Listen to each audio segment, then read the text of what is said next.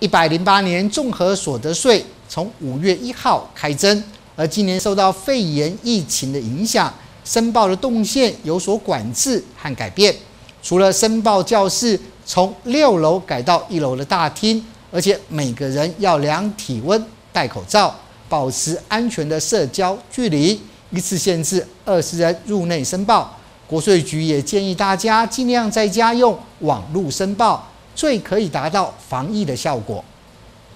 配合防疫政策，今年申报综合所得税的动线有所调整。申报教室从原本六楼大礼堂改到一楼，进出口的动线都有管制，而且设置了检疫站，帮报税人来量体温，并且要求戴口罩。而为了确保安全社交距离，一次只能够有二十个人入内申报。因为这个疫情的关系哈，所以呢，我们今年的所的场场地呢，是从六楼都移到一楼。那么这一楼的这个，因为座位有限哈，那所以呢，呃，我们只是大概一楼的位置哈，只能容纳二十个人。所以呢，超过二十个人的话，我们只好呃请乡亲们，那我们在户外呢有一个等候区哈。那但是乡亲们进来的话，我们先会量额温哈。那进来以后，我们就会给他一个号码牌，然后号码牌呢又等等着叫号。那因为我们就是怕乡亲们呢，这个呃，这个我们的场地哈，因为外面的地方是网络申报，那还有一个地方是查掉所得，那还有一个地方是税额试算，分在三个不同的地区。那我们也就是说，在我们的教这个地板上面呢，我们也就是说也做了一些的指示牌哈。那依照颜色，我们进来的时候都会给他一个呃不同的颜色哈。那请乡亲呢。啊，依照他手上他手上的这个呃这个不同的颜色的纸那个呃不同颜色的那个号码牌哈，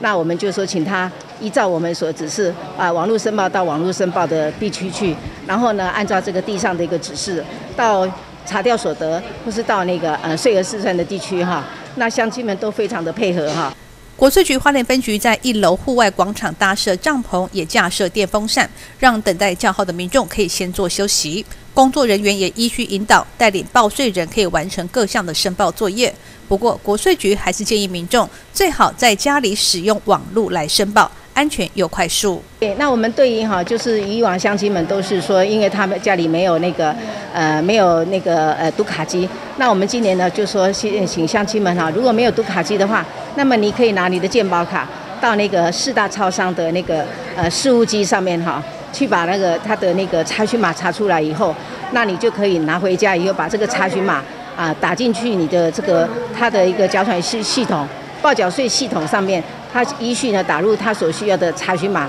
还有你家里的户号，那么你就可以完成网络申报。所以我们也呼吁说，乡亲们，因为疫情的关系啊，尽量的呃，就呼吁呢，乡亲们能够网络申报，在家里网络申报，哎，就就尽量网络申报。国税局表示，在家上网申报的民众还可以参加首奖高达五万元的抽奖，请大家可以多多利用。如果有任何申报所得税的疑问，也可以拨打国税局的服务专线来查询。谢吕慧焕视报道。